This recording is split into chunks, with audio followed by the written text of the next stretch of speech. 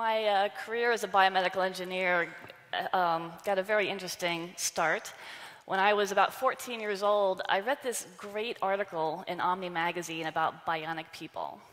And I was absolutely captivated by the information in it. I learned about artificial organs and artificial limbs. And I remember reading in places like Popular Science about this thing called bioelectricity, which is basically the foundation for how our neuromuscular system works. And I remember reading about this um, famous experiment done by Galvani way back in 1770, where he was able to show that small amounts of electrical current could activate the muscles of a frog.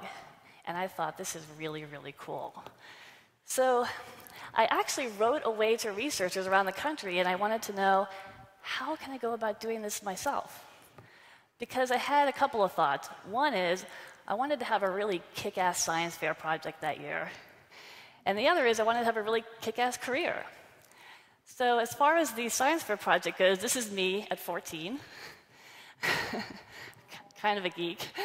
Um, I developed uh, or built this system that had sensors that I could place on the surface of my skin that would pick up the bioelectric signals from my muscles.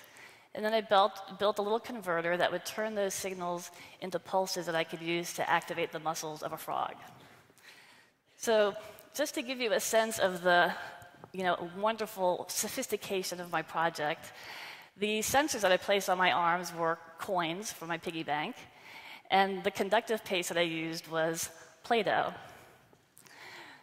So, while I was busy building the Play Doh and coins version, there were a group of researchers out at Case Western Reserve University in Cleveland, Ohio, who were busy laying down the foundation of this new field called neuromodulation.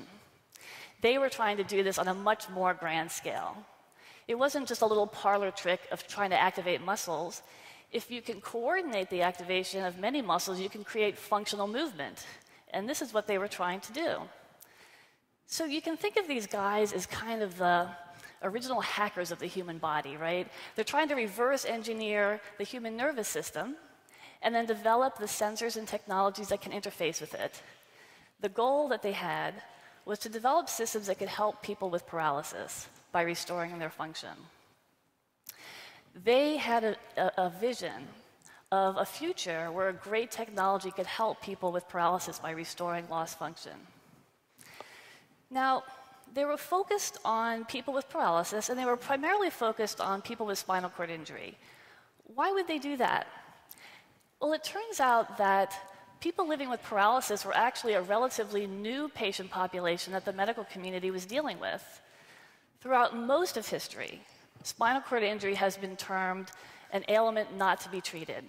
And this is how it's described in a papyrus that dates back 4,500 years ago it was described that people could sustain a terrible blow to their back or to their neck, and they'd be fully conscious and awake and alive, but paralyzed, completely unable to move or sense anything below the level of injury. And there was nothing that could be done for these people. So, for millennia, the prevailing medical management of people with spinal cord injury has been to leave them to die. And so it wasn't until around World War II that medical management improved to the point that now people could be stabilized and they could learn to live and manage themselves as people with paralysis for many, many years. So that by the time our researchers in Cleveland were getting underway, there was now this growing population of people living stably with paralysis. As you can imagine, life with paralysis has a great deal of challenges to it, a great deal of complexity. Depending on their level of injury, people may need attendant care for many of their activities of daily living. But these are people who are not asking for our pity. In fact, they had dreams and aspirations before their injury, and they continue to have those dreams and aspirations. They just try to achieve them in a, in a body that works differently. So they do amazing things. They show incredible resilience in the face of their new reality, a new reality that involves working within the limits of their condition, working with hands that don't work, attending to bodily functions like bladder control and bowel control that are no longer fully under their voluntary control, and dealing with issues of access and mobility. So, a prevailing sentiment that they express is that they simply lack the freedom to feel spontaneous. Think about that. Although I think these pictures sort of belie that a little bit. these are people with, with tetraplegia doing things like tandem jumping out of an airplane and kayaking and scuba diving. One of the big issues here is there aren't great technologies to help them. So it's true that we no longer leave these people to die. But my gosh, we do send them home from rehab with precious little else. You know, it's been more than half a century since we've learned to create this population, but all we can send them home with are simple tools. So I, I look at this and I think we've got to do better than this. We've got to do better than this because it's not just that living with paralysis takes a toll on people's sense of independence and autonomy and, and flexibility and spontaneity. It takes a toll on their lives. And this became abundantly clear to me eh, when I was working with people with spinal cord injury. It horrified me to learn what it is that they die from, because it's stuff that you and I don't think about every day. They can die from infections that rage through the body, sometimes started off as something as simple as a pressure sore that they didn't notice because they sat too long in the same position. They can die from pneumonia because many times their respiratory system is compromised and they might not be able to generate a productive cough. And they can die from kidney failure because of the constant pressure that's placed on the renal system because of the complexity and challenges of having to manage their bladder. So, all of these things, all of these things can be improved by restoring simple, basic functions getting people the ability to get up again, to move again, to shift their weight in their chair, to use their hands again, to feed themselves, to pee, to breathe better. If you can restore these basic functions, you can potentially save their lives. So here's the thing about that. When it comes to restoring the basic functions of paralysis, there's no app for that. There's no really simple tool. There's no few lines of code that you can push out of the App Store or Nervous System 1.0. There's no cute little gadget that you can build in a couple of months and, and set it up on Indiegogo. There's probably not a DIY version that's available. The fact is, the artificial nervous system, which is what we're talking about, is an effort that's been underway for 30 years because that's what it takes. That's what it takes to completely reverse engineer the human nervous system, to develop all the technology that's going to interface with it, to figure out how to uh, make the system biocompatible, to fully test it, to teach people how to implant it, to teach patients how to use it, and to teach rehab specialists how to program it. This is what it takes. So here's where we are today. The artificial nervous system that we're talking about looks like this. These are what neuro, neuromodulation systems look like today. This is a fourth generation design. So this design can trace its lineage all the way back to some of the first systems that were hand built in the 70s and 80s. And they can trace that lineage back because some of the same people are still working on that team. It is a tour de force of great engineering and a, a wonderfully elegant design. All the system component parts are now implanted, so the whole thing is on the inside of the body. And it works like a network computer system, modular, so that um, the, the components talk to each other. And if you want to add new functionality, it's like adding peripherals. So, one of the hidden um, points of simplicity in this design is the fact that it uses as much as possible the person's own residual function. And this is really, really key. So you'll notice it's not a robotic system, and it's not an exoskeleton. And there's a design reason for that. Just look at people with paralysis. They already have a skeleton, they wear it on the inside. And they don't need a lot of motors and actuators because movement can come from their muscles that can still be activated. This system connects to the part of their nervous system that still works, and it substitutes for the parts that don't.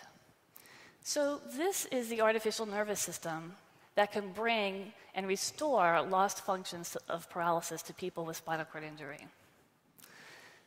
So, I realize that at this point, you're thinking, okay, great, problem solved, way to go on the bionic guy. And a lot of people would see this as a problem with an engineering solution. But it gets considerably more complicated than that because it doesn't help to have a great engineering solution if you can't actually get it to the people who need it. And we can learn from our own history here.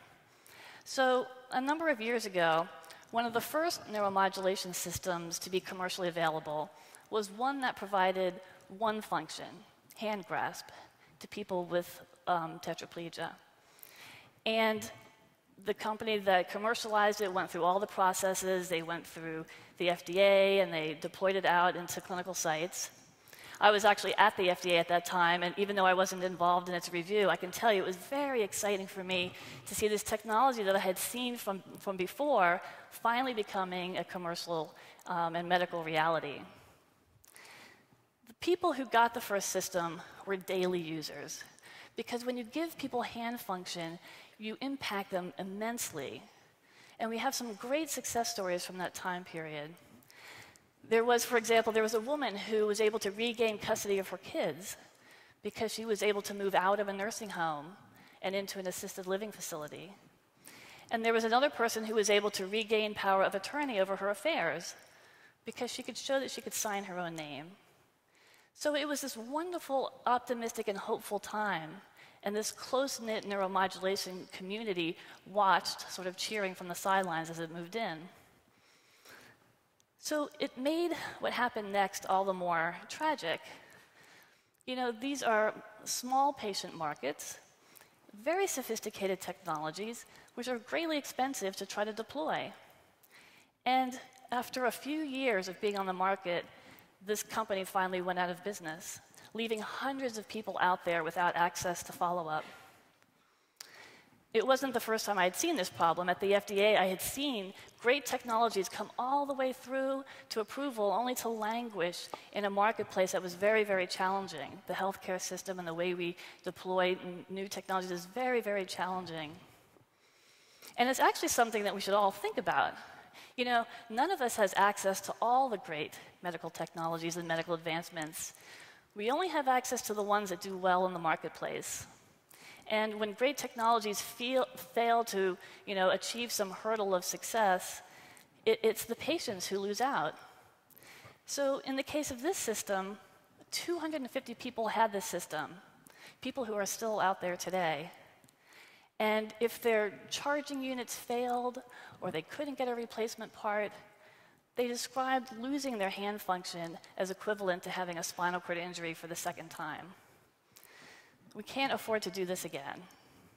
But what do you do? What do you do when you have a great technology that gives people autonomy, independence, spontaneity, gives them function back, it gives them better health, but you don't have an economically feasible way to deploy it? So it's time for a lot of clear thinking and different thinking right now.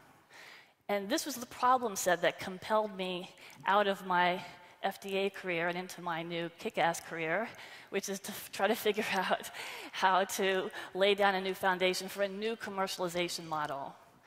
The time is really right for this because, in this case, the technology is ready to go.